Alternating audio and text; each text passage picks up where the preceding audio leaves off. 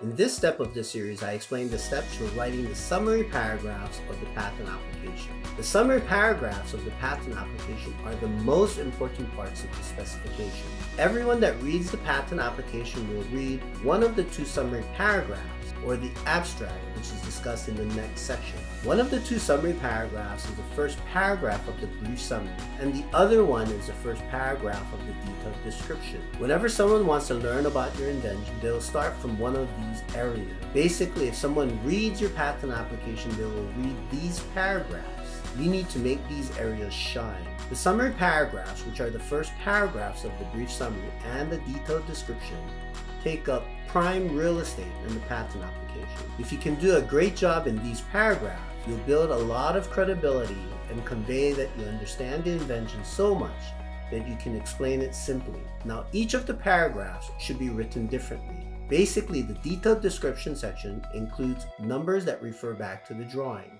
Take advantage of that. Write the summary paragraph for the detailed description to go much deeper into how the invention works compared to the summary paragraph of the brief summary.